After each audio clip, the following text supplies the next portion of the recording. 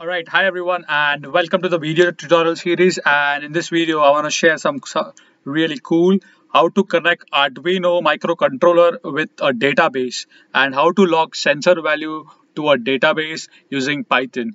So this video is a combination of hardware plus software and logging the data on the database so that later you can fetch the data and do analysis using pandas module or or any other thing. So let's get started and let me show you the hardware description of the project. How did I do this project? So basically I, I just I'm using a Node MCU. You can use an Arduino or Uno, anything. So basically any regular Arduino microcontroller, any normal microcontroller uh, uh, sensor value can be logged on a database using Python. Python is a pretty powerful open source language. So here you can see I have imported the modules known as serial SQLite, read date time and time.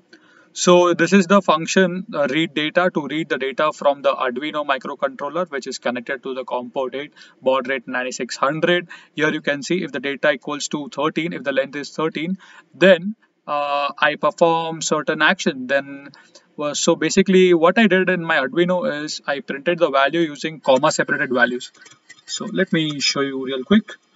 I'm not sure if you can see this. So if you see if it is one value, comma, second value. Now in my Python code, what I do is split, split the uh, split the line at comma. So I get two values, temperature and humidity. That's how I do analysis. You know, this is pretty cool how your hardware is talking to your software. That is, software is Python, hardware is Arduino.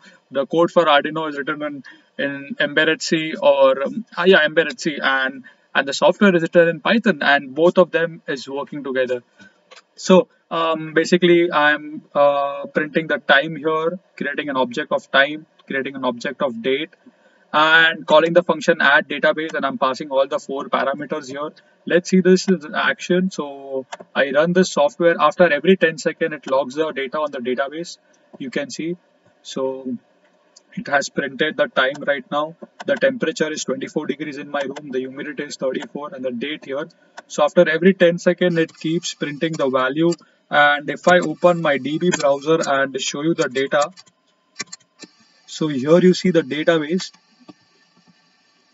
So if i browse the data here you can see 2038 uh, the temperature is 25 so let's wait for five more seconds and this will be updated here. Oops sorry for that.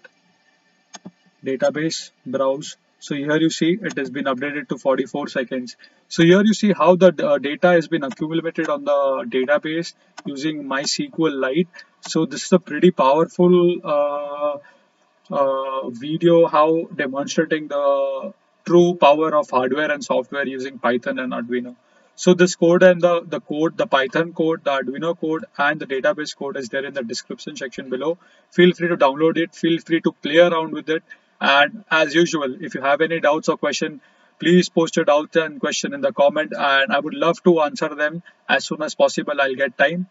So keep learning something new and uh, in the next video we shall do some analysis on the database using uh, pandas module. So that's it for this video and see you guys next time.